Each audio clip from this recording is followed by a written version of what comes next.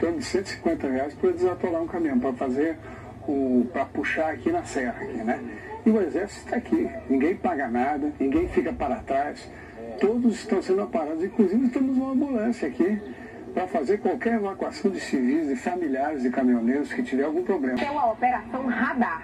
Até março, a prioridade é garantir a trafegabilidade na pista.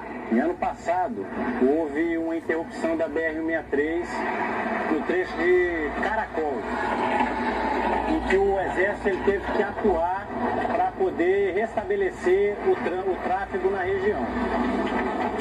Já pensando nisso e com o objetivo de não interromper o tráfego no ano agora de 2000, final de 17 e no início de 18, o Departamento de Engenharia de Obras de Construção ele determinou que o 8 Batalhão de Engenharia de Construção mantivesse a trafegabilidade do trecho entre Moraes de Almeida e Novo Progresso. Se por acaso nós tivermos algum ponto que venha estrangular o tráfego e, os e as carretas fiquem é, nos atoleiros, nós vamos agir de imediato. E agora tá uma maravilha, graças ao Exército Brasileiro. Uma carga que demorava meses para chegar. Enfim, tá travado tudo. O município também está travado. Inclusive tem um decreto de estado de calamidade pública. É, com falta de responsabilidade. Só as imagens aí, ó. Filas e filas de caminhões, tudo atolado. Isso antes do governo federal interditada. O exército trabalhando aí, pessoal. Olha aí, ó. O exército tampando os buracos. O exército trabalhando, pessoal. Olha os caminhões tudo parado. E o exército dando apoio médico, a todo mundo aí, veja só, o exército brasileiro trabalhando, pessoal, rebocando carros. Imagens do antes, BR 163, pessoal.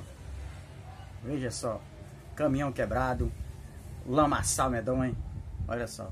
Veja aí, olha ó, as imagens.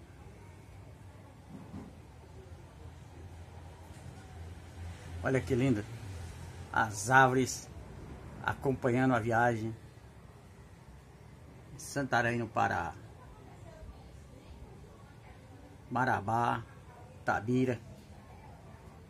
Todos esses locais aqui contemplado pela BR 163 em Santarém no Pará. Altamira e Marabá no Pará essas obras vão agilizar as cargas para esses locais. Altamira no Pará e Marabá. Imagens lindíssimas. Serra.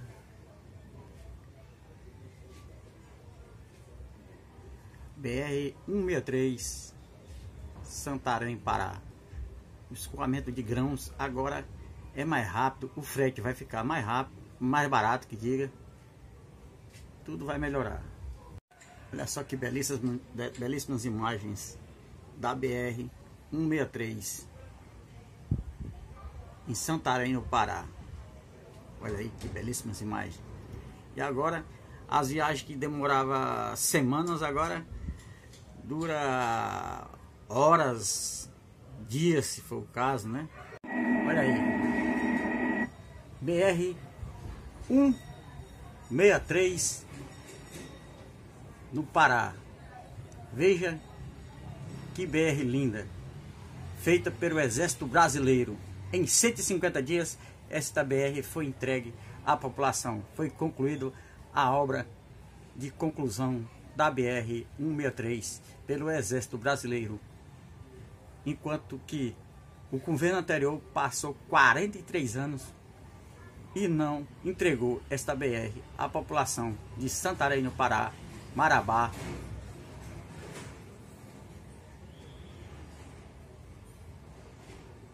Veja que coisa linda, pessoal.